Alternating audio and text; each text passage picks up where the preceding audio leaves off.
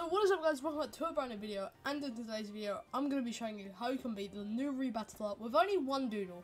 This this rebattler is kind of simple, I know you guys have probably already figured out how to beat it, but I'm going to show you how to do it today, with a PvP trained um, Xenoxius.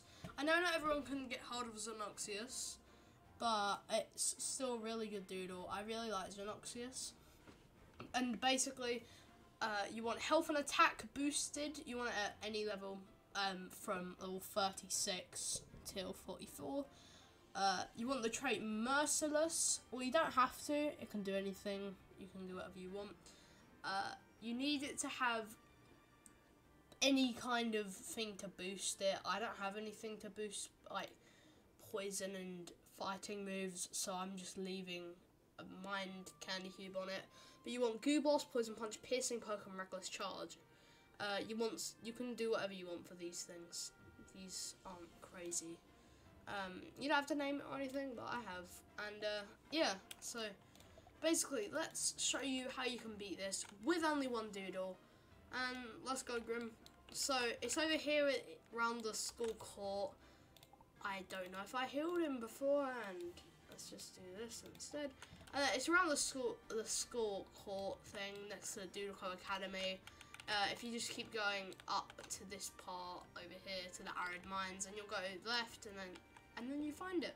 So he's all the way up here at the back next to the Lewis Club, and basically when you battle it, he has four doodles, and they are all four evolutions of Flaskin. So the thing about this one is all of them are, are like fighting is super effective against all of them, apart from the ice type. I don't know its name. But, uh, so reliable, just use piercing poke.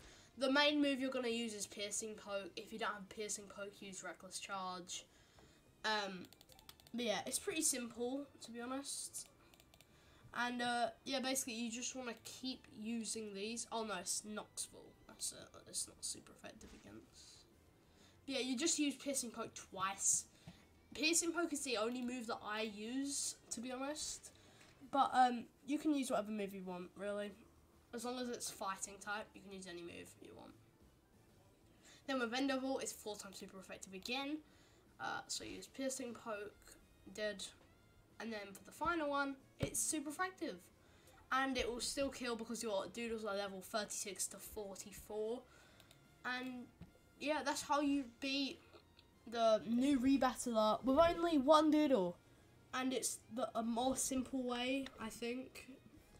And yeah, so um, yeah, if, if this has helped you guys, remember to like and subscribe.